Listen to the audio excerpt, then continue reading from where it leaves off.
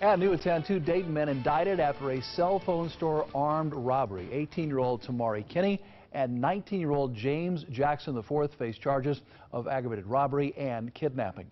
This stems from the T-Mobile armed robbery in Miami Township on October 16th.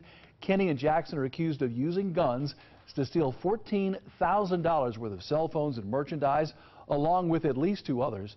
But then they crashed their vehicle on Edwin C. Moses Boulevard before their captures. Now, anyone with information on those remaining suspects is asked to call Crime Stoppers at 222-STOP.